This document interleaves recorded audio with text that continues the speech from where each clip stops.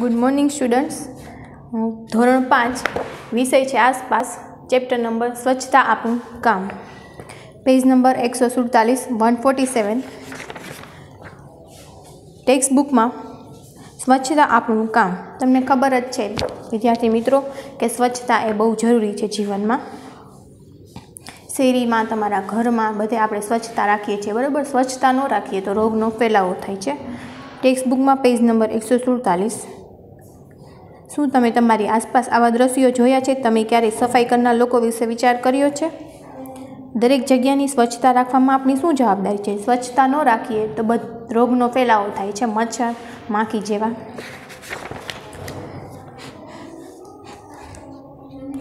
Page number એકસો અડતાલીસ. ચાલો આપણે શંકરભાઈને મળીએ. તેઓ ગામની સફાઈની કામગીરી કરે છે, તેમની સાથે પ્રશ્નોત્તરી કરીએ. તેઓ શું જવાબ આપે છે તે જાણીએ. પ્રશ્ન નંબર ફર્સ્ટ. તમે સફાઈનું કામ ક્યારથી કરો છો? લગભગ ત્રીસ વર્ષથી. શંકરભાઈ એમ કહે છે, હું સફાઈનું કામ લગભગ ત્રીસ વર્ષથી કરું છું. મારા પિતાજી અવસાન પામ્યા ત્યારે ગામની સફાઈનું કામ કરું છું. એના પિતાજી મૃત્યુ પામ્યા હતા, ત્યારથી એ સફાઈનું કામ કરે છે. તમે આ કામ શા માટે કરો છો? શંકરભાઈને પૂછે છે, તમે આ કામ શા માટે કરો છો? તો કે, મારો વ્યવસાય છે અને રોજગારી મેળે, મને મળે છે એટલે હું આ કામ કરું છું. તમારે કેટલા સંતાન છે? શંકરભાઈને પૂછે છે, તો કે, મારે બે દીકરા અને એક દીકરી છે.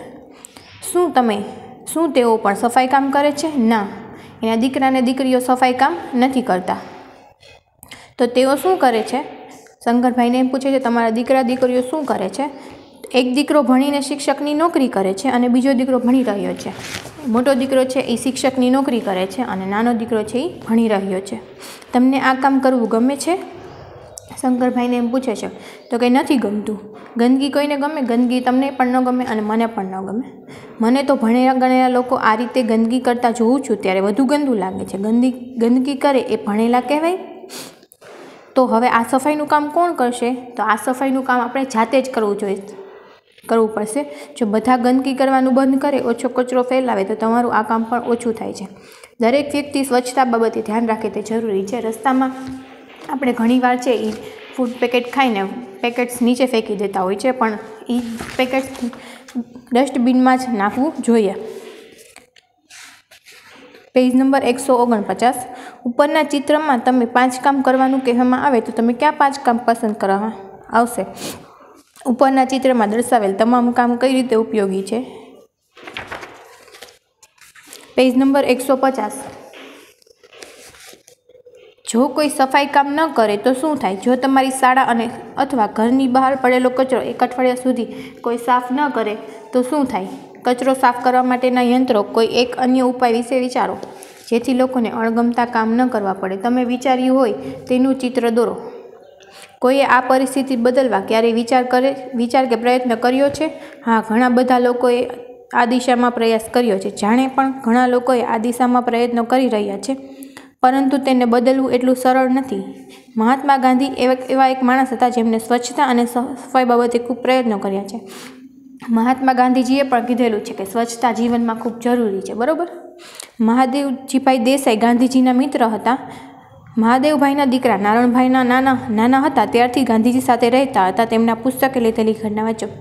પેજ નંબર એકસો એકાવન ઉપર આપણને એક ઘટના આપેલી છે, એ આપણે જોઈએ. જ્યારે નારાયણ નારાયણ અગિયાર વર્ષનો હતો તે ગાંધીજીના સાબરમતી આશ્રમમાં રહેતો હતો. આશ્રમમાં રહેતી દરેક વ્યક્તિને જુદા જુદા પ્રકારના કામ કરવા પડતા હતા. તેમાંનું એક કામ હતું મહેમાનોને શૌચાલય કેવી રીતે સાફ કરવું તે શીખવવું. તે દિવસમાં શૌચાલયના અત્યારના જેવા ન હતા, તે સમયે બેઠક નીચે બાસ્કેટ મૂકવામાં આવતું હતું. સંડાસ ગયા પછી તે બાસ્કેટ જાતે ઉપાડી ખાળકુઓમાં પહેલાંના જમ, પહેલાંના લોકો છે એમાં આવી રીતના આપણે અત્યારે શૌચાલય એવા શૌચાલય નહોતા. સામાન્ય રીતે આ કામ એક જાતિના લોકો કરતા, પરંતુ ગાંધીજીના આશ્રમમાં દરેક જાણે જાતે બાસ્કેટ ઉચકીને ખાળકુવા સુધી લઈ જતા.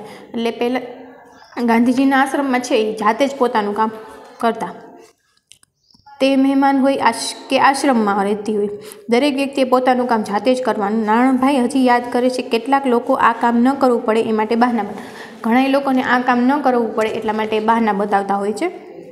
કેટલાક તો આ કામથી ડર, આ કામના ડરથી આશ્રમ છોડીને જતા રહે છે.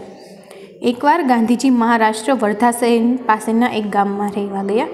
ગામ શહેરની પાસે હોવા છતાં ગામમાં સુવિધાઓનો અભાવ હતો. પહેલાંના લોકોમાં એવું હતું, અત્યારે જેવું, અત્યારે જેવી આપણને ફેસિલિટી મળે છે, એ પહેલાં મળતી નહીં. પહેલાં શૌચાલયનો અભાવ હતો. ગાંધીજી, મહાદેવભાઈ અને તેમના સાથીઓ ગામના શૌચાલયની સફાઈનું કામ કરવા લાગ્યા. ગાંધીજી, મહાદેવભાઈ અને તેના મિત્રો શૌચાલયની સફાઈ, જ્યાં શૌચાલય ગંદુ હતું, ત્યાં એને સાફ કરવા લાગ્યા. થોડા મહિના વીતી ગયા.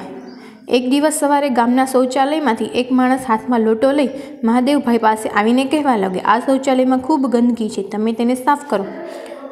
મહાદેવજીભાઈ પાસે એક છોકરો આવીને કહેવા લાગ્યો કે, આ શૌચાલય ખૂબ ગંદુ છે અને તમે સાફ કરો. એટલે છોકરાઓ છે એ શૌચાલય, છોકરાઓને ગંદકી ગમતી નહીં, એટલે તેઓ શૌચાલય સાફ કરતા નહીં. જ્યારે બાબલાએ આ જોયું તો તેને ખૂબ ગુસ્સો આવ્યો. તેણે વિચાર્યું કે ગામના લોકો તો એવું સમજે છે કે સફાઈ કામ તો ગાંધીજી અને તેમના સાથીઓનું છે. આ યોગ્ય નથી, તેમણે ગાંધીજીને પૂછ્યું, આવું કેમ? ગાંધીજીએ જવાબ આપ્યો, અસ્પૃશ્યતા એ ખૂબ ગંભીર બાબત છે, તેને બદલવા ખૂબ મહેનત કરવાની જરૂર છે. નારાયણ સમજી શકતો ન હતો આ કામ કરવાથી કેવી રીતે બદલાવ લાવી શકી શકું? તેણે પૂછ્યું, જો ગામ લોકો નહીં સુધરે તો શું ફાયદો થશે? તેમના કામ બીજા પાસે કરાવવાની? તેમને તો આદત પણ પડી ગઈ હતી. આપણે કોઈ કામ, આપણી આપણી જાતનું કામ આપણે કોઈને સોંપવું જોઈએ નહીં, આપણે જાતે જ કરવું જોઈએ. ત્યારે ગાંધીજીએ કહ્યું કેમ શું તું એ નથી વિચારતો કે લોકો સફાઈ કરે ત્યારે તેમને પણ ફાયદો થાય? તેઓમાં તેઓને બોધપાઠ શીખવા મળે છે. કોઈ એક કામ શીખવું એ કલા છે, સફાઈનું કામ પણ એક કલા છે.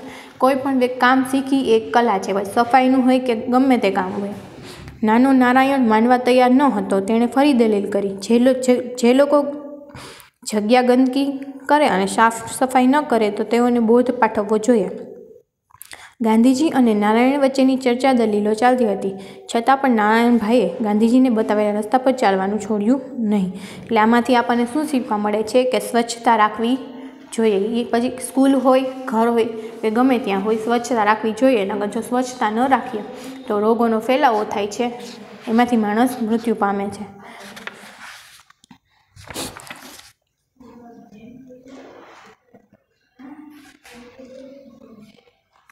પેજ નંબર એકસો બાવન. નીચે જુઓ. સીતા અને ગીતા. શું તમારા ગામમાં જગુભાઈ જેવા માણસ છે તપાસ કરો અને તેમના વિશે માહિતી ભેગી કરી જગુભાઈ પાસેથી આપણે શું શીખવા જેવું છે? શાળાના વિદ્યાર્થી જોડે ચર્ચા કરી. ચાલો. સીતા, હું સીતા છું, આ ગીતા છે અને આ રાજુ છે. અમે પાંચમા ધોરણમાં ભણીએ છીએ. શાળામાં તમે શું કરો છો? તો ગીતા કહે છે, અમે શાળા ભણવાની સાથે સાથે શાળાકીય પ્રવૃત્તિમાં ભાગ લઈ છીએ. ત્યારે પ્રશ્ન પૂછવામાં આવે છે, શાળા સૌથી પહેલાં શાળામાં સૌથી પહેલાં કઈ કામગીરી કરવામાં આવે છે? રાજુઓ, શાળા ખુલે ત્યારે પહેલાં સફાઈની કામગીરી ગમે. શાળામાં આપણે પટ્ટાવાળા આવે છે, શાળાની પહેલાં. આપણે શાળામાં જઈએ એ પહેલાં આપણે શાળાની સફાઈ થઈ ગઈ હોય. આ સફાઈ કોણ કરે છે સીતા? દરેક દિવસ માટે વિદ્યાર્થીઓની ટુકડી નક્કી કરે છે. ટુકડીનો વારો હોય છે, તેણે સફાઈ કામગીરી કરવાની થાય છે. સાથે અમારા શિક્ષકો પણ જોડાય છે. શિક્ષકો, સ્કૂલમાં જે શિક્ષકો જોબ કરતા હોય, એ પણ શાળાની સફાઈગીરીમાં આપણને મદદરૂપ થાય છે. ગીતા, નામ, અમારી શાળામાં સફાઈ માટે કામદાર રોકેલ છે, પરંતુ તે અઠવાડિયામાં બે ત્રણ દિવસ જ આવે છે. એટલે જે દિવસે તે ના આવે, તે દિવસે અમે બધા ભેગા મળીને સફાઈ કરીએ છીએ. શું આ કામ તમને કરવું ગમે છે? સફાઈ કરવાનું ન ગમે. સફાઈ થયા પછી વાતાવરણ સ્વચ્છ થાય અને શાળામાં ભણવાનું ગમે છે. અમારે તેનો ઉપયોગ કરવાનો છે. એટલે શાળામાં ગંદકી રાખવી યોગ્ય નથી. શાળાને સ્વચ્છ રાખવી એ અમારી ફરજ છે. શાળામાં આપણને ગંદકી હોય તો આપણને ન ગમે. પ્રશ્ન, આ કામ કરવાથી તમને કયો ફાયદો કરો સીતા કહે છે, હા, પહેલાં અમને કચરો વાળતા, મોટા સામણથી વાળતા અને પાટલી અને ટેબલો સાફ કરતા પાણીની સફાઈ વગેરે કામ કરતાં આવડતા ન હતા. આપણે નાના હોય ત્યારે આપણને કાંઈ કામ આવડતું ન હોય, બરાબર? પરંતુ મોટા વિદ્યાર્થીઓને તે કરતાં જોઈ અમે પણ શીખી ગયા. હવે અમે ઘરે મમ્મીને મદદ કરવા, મદદ કરીએ છીએ. Thank you